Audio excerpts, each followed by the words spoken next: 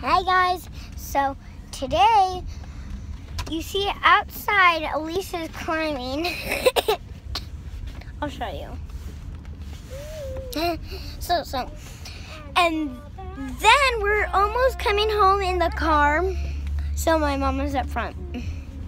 I'll show you. But she but but now I'm getting unbuckled. But that's not really how you do. So yeah, here's my mom. Hi.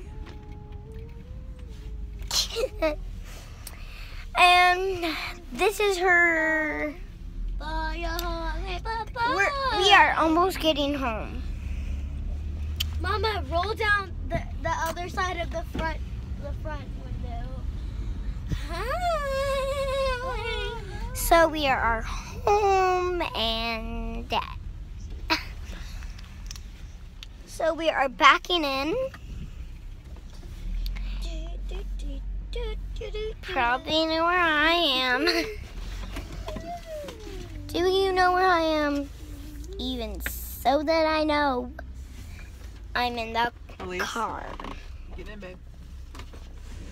So this is this is what happened. The last day of school. I'll tell you the whole story.